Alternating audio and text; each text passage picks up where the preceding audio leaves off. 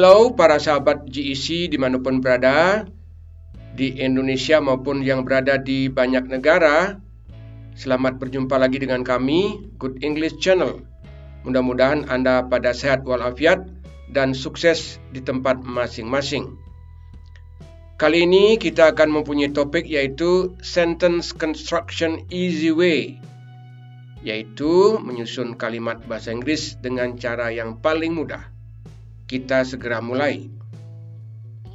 Number one, dia berangkat lebih awal untuk menghindari hujan. Dia berangkat. He leave. Kata kerja leave yang bergaris bawah itu berarti belum benar nanti diadakan penyesuaian dalam kalimat bahasa Inggrisnya. Lebih awal, early. Untuk menghindari, to avoid. Hujan, the rain. Dia berangkat lebih awal untuk menghindari hujan. He leave early to avoid the rain. Yang diubah adalah kata kerja leave dengan cara menambahkan s menjadi he leaves early to avoid the rain. Kata kerja leave ditambah s karena subjeknya he, orang tunggal atau orang ketiga tunggal. Kemudian diikuti oleh keterangan early, lebih awal. To avoid adalah kata kerja, menghindari atau untuk menghindari. Kata kerja avoid ada to di depannya karena kata kerja avoid mengikuti kata kerja yang lain yaitu leave. Kemudian objeknya adalah the rain. Kalimat ini namanya kalimat simple present tense, waktu kini, dan juga bisa berulang. He left early to avoid the rain. Bisa juga kata leave tadi dijadikan left, diubah ke bentuk kedua untuk membentuk kalimat past tense. Kalimat past tense adalah kalimat yang menyatakan suatu peristiwa atau kejadian sudah terjadi di saat yang telah lalu dan telah selesai. Itulah kata kerja left. Kemudian yang lainnya sama early to avoid the rain. Dari segi artinya kalimat yang satu dengan yang kedua sama artinya namun waktunya berbeda. Kalau yang di atasnya menyatakan waktu yang kini, yang dibawanya waktu yang telah lalu. Sekarang lihatlah perubahan kata kerja leave menjadi left bentuk kedua dan juga bentuk ketiga left.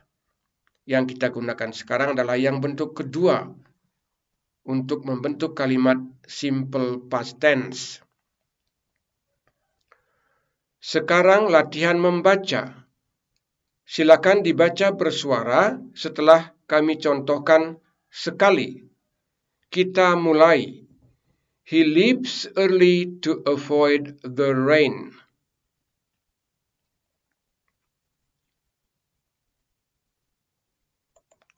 Kalimat yang kedua. He left early to avoid the rain.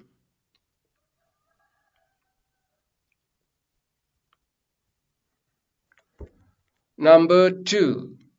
Tuan John menasehati anaknya untuk bekerja keras.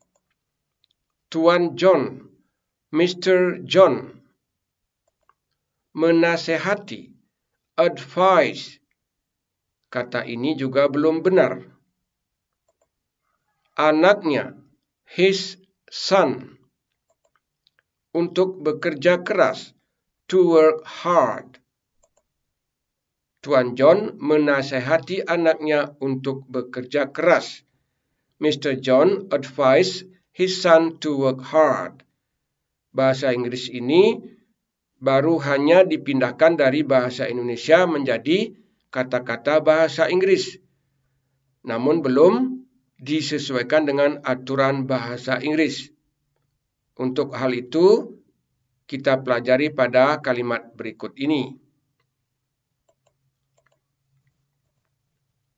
Mr. John advises his son to work hard.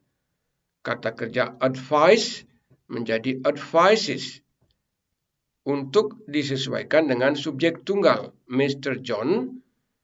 Kata kerja advice yang bentuk pertama dalam kalimat present menyatakan peristiwa yang sering terjadi atau terjadi waktu kini. Kemudian his son, anaknya, Son adalah anak laki-laki. To work hard, untuk bekerja keras. Kata work adalah kata kerja, menggunakan to di depannya karena di depannya ada kata kerja yang lain, yaitu advice. Kemudian hard adalah keterangan. Mr. John advised his son to work hard. Kalimat yang kedua, menandakan peristiwa yang telah terjadi dengan menggunakan kata kerja bentuk kedua yaitu advised. Lihatlah perubahannya. Advice, advised, advised. Yang kita gunakan sekarang adalah kata kerja bentuk kedua dalam kalimat simple past tense.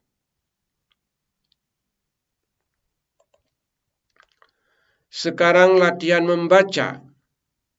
Kita mulai. Mr. John advises his son to work hard.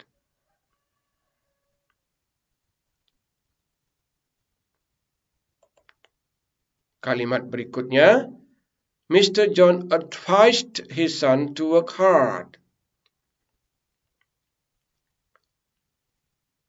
Cara membacanya, advised bukan advised ya. Yang benar adalah advised. Seperti itu. Number three. Jake mampu membeli mobil mahal. Jake mampu atau bisa. Jake can. Membeli. To buy atau buy mobil mahal, an expensive car. An artinya sebuah. Jake mampu membeli mobil mahal. Jake can buy an expensive car. Sekarang lihatlah kalimatnya yang benar. Jake can buy an expensive car. Kata buy mengikuti can can adalah model namanya, maka by tidak menggunakan to di depannya. Jadi selalu model can itu diikuti oleh kata kerja bentuk pertama tanpa to. An yang artinya sebuah atau satu itu digunakan ketika kata yang mengikuti paling depan berbunyi vokal. Seperti kata ini X expensive. Jadi huruf E paling depan sehingga digunakanlah N. Itu vokal. Apabila bunyi depannya adalah konsonan, seperti pen, huruf P, maka digunakanlah E. Menjadi a pen. Begitu misalnya. Sekarang latihan membaca. Jake can buy an expensive car.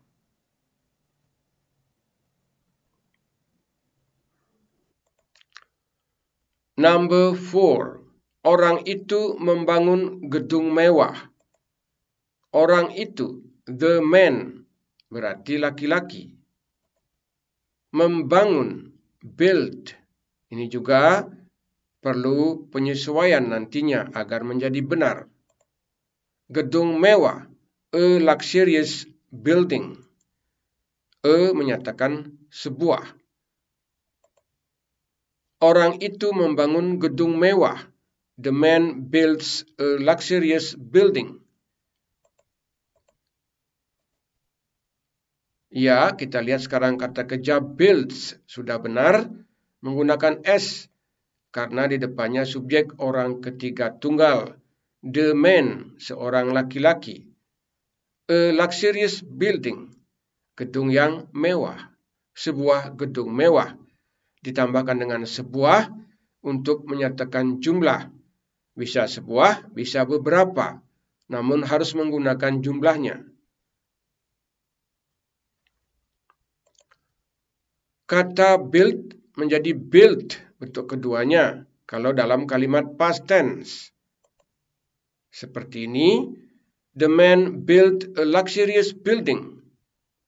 Karena menggunakan build bentuk kedua, maka membangun itu sudah terjadi di saat yang telah lalu.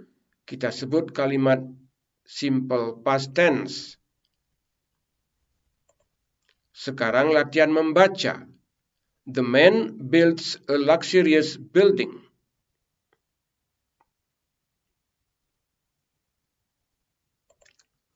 The man built a luxurious building.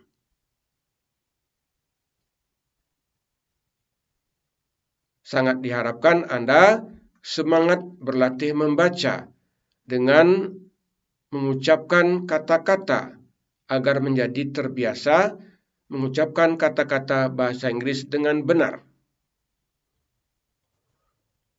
Number five, anak kecil itu belajar menghitung.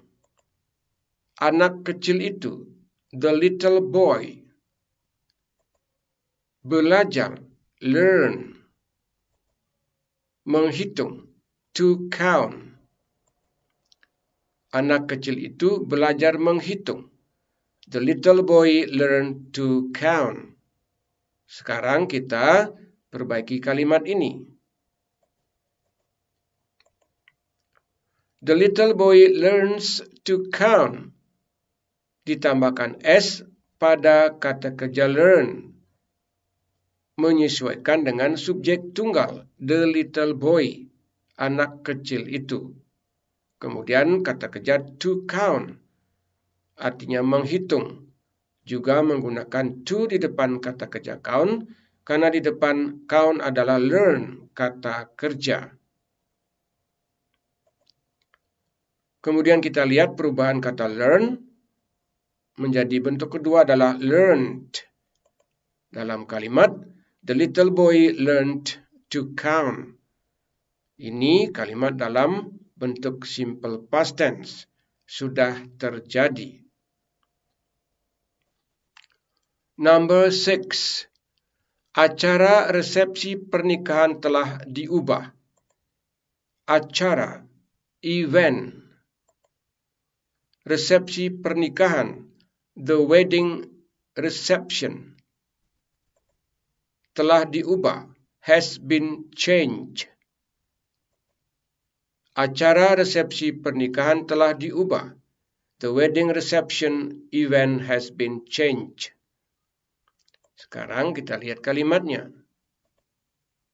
The wedding reception event has been changed.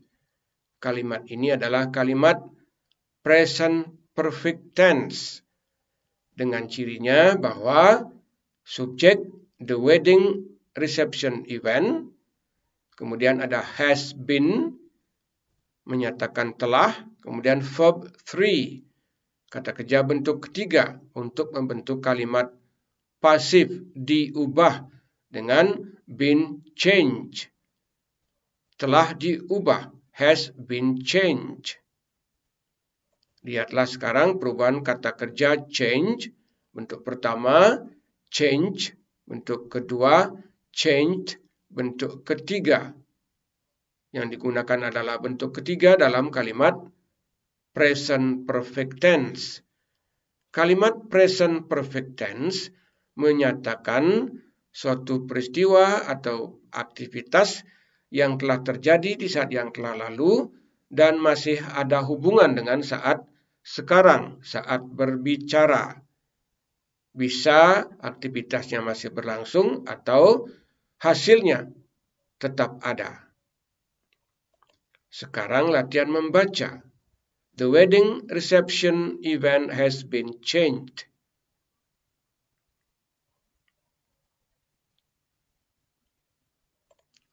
Number seven, kamu kena biaya tambahan bila parkir lama.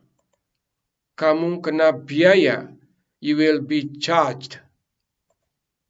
Tambahan, extra. Bila parkir, if you park. Ditambah you, karena yang dimaksud adalah orang yang diajak bicara, yaitu kamu atau you. Lama, for a long time. Kamu kena biaya tambahan bila parkir lama. You will be charged extra if you park for a long time. Kalimat ini menggunakan will dan be. Will be charged akan dikenakan biaya dengan di ya atau kena biaya tambahan. Sama maksudnya, namun dalam bahasa Inggris will be charged akan dikenai biaya extra atau tambahan. If you park for a long time, jika kamu parkir dalam waktu yang lama. Itu maksudnya. Subjek diikuti oleh will be dalam kalimat future tense. Kemudian verb 3. Verb ketiga untuk membentuk kalimat pasif. Subjek you, kemudian will be, dan charge adalah verb ketiga yang membentuk arti pasif. Kamu akan dikenai biaya tambahan. Begitu kalau disesuaikan dengan bahasa Inggris. Kalimat ini adalah kalimat future tense dengan menggunakan will diikuti oleh kata kerja be yang berarti akan. Kemudian perubahan kata kerja charge bentuk pertama, charged bentuk kedua dan charged bentuk ketiga. Yang digunakan adalah bentuk ketiga untuk membentuk kalimat pasif dengan berpolakan be diikuti oleh kata kerja ketiga. Di situlah terbentuknya kalimat pasif. Sekarang belajar membaca. You will be charged extra if you park for a long time.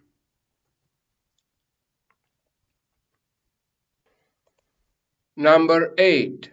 Periksa uangmu sebelum meninggalkan kasir. Periksa uangmu. Check your money. Sebelum, before. Meninggalkan, leave. Kasir, the cashier. Periksa uangmu sebelum meninggalkan kasir. Check your money before leave the cashier. Kalimat ini belum benar. Sekarang kita perbaiki. Check your money before leave the cashier. Kata kerja leave belum benar karena berada di belakang kata before. Check your money before leaving the cashier. Itu yang benar. Kata kerja yang ada di belakang before atau preposition menggunakan ing menjadi leaving. Latihan membaca. Check your money before leaving the cashier.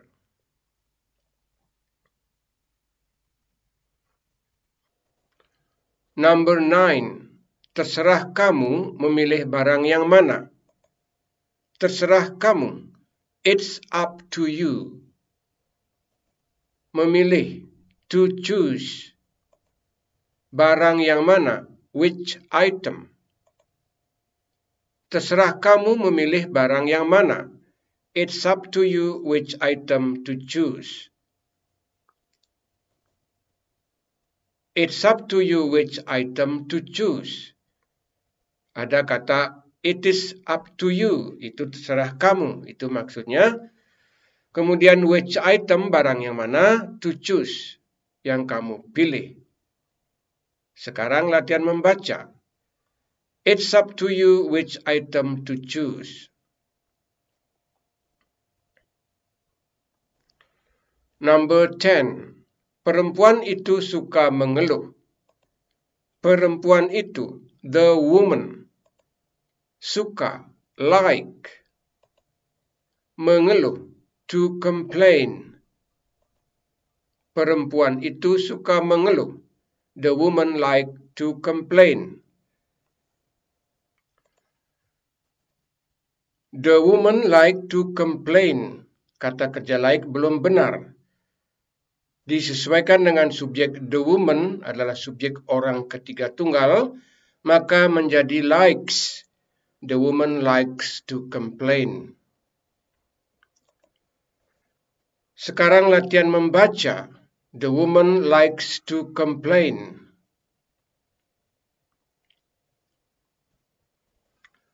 Number 11. Sebelum berangkat aku pertimbangkan cuaca sebelum berangkat, before leaving. Aku pertimbangkan, I consider. Cuaca, the weather. Sebelum berangkat, aku pertimbangkan cuaca. Before leaving, I consider the weather.